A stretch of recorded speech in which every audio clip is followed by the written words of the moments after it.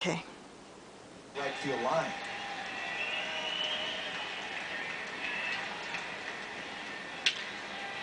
Pulled foul by Encarnacion.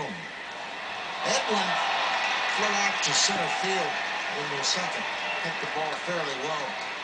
Nearly reached the warning track, and the police officer having a tough day down there. Target.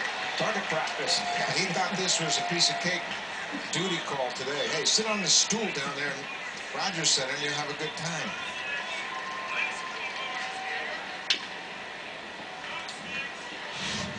Well, he just got missed a couple of pitches ago, and now this one is like, whoop. He's not having a whole lot of fun here.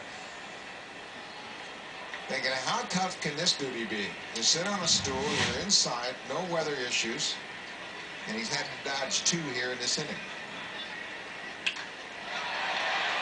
Look out. He might want to move. Forget a net. Enough already.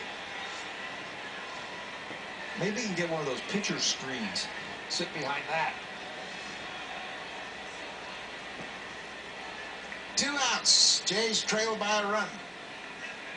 Adam Lind at second.